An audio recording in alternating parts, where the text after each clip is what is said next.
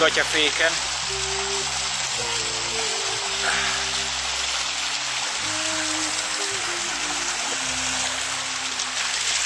Oda van a nadrágunk, a ruhánk.